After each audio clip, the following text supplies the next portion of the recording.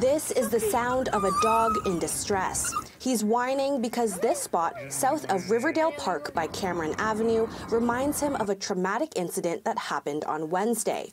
Brady, a two and a half year old mini poodle, was walking with his owner, Maya Stock, when she disappeared. I was just walking here and then I stopped here and I pulled out my phone to take a picture and I was like showing Brady the edge. I don't know why, but I was just showing him it, and then like I just the ground just gave way and it just fell all the way down. I just like I remember just like tumbling down, just so scared that it was gonna hit the water and like just like terrified falling down because it was a long way down. Stock heard later that Brady stayed in the area whining and barking until he herded a passing couple to his fallen owner. The couple then called 911. He was like whining and like barking and herding them toward me. And then they saw me down there and they were like, are you, is this your dog? And I was like, yeah. And they're like, is your dog okay? And I was like, yeah, but I'm not, I fell.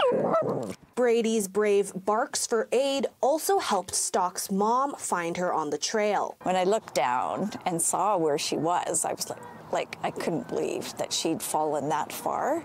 Um, and it was, yeah, my stomach just dropped because I was sure she was going to be badly injured. Maya Stock says she suffered some minor scrapes and bruises as well as a concussion. Her mother thinks that there should be more protection in the area for residents. Neighbors have been asking the city for, you know, some kind of uh, guardrail or fencing or something for you know worried about the stability of the um, of the the cliff here. The family says the warning signs were put up in the area after Stock's fall, and in an email, the city confirmed barricades are going up on Tuesday as they work toward a permanent solution. A longtime Riverdale resident says Stock is not the first person to have fallen off the cliff, and if other residents aren't careful, she won't be the last. The swallows burrow underneath, they weaken the ground, and uh, it naturally collapses every year.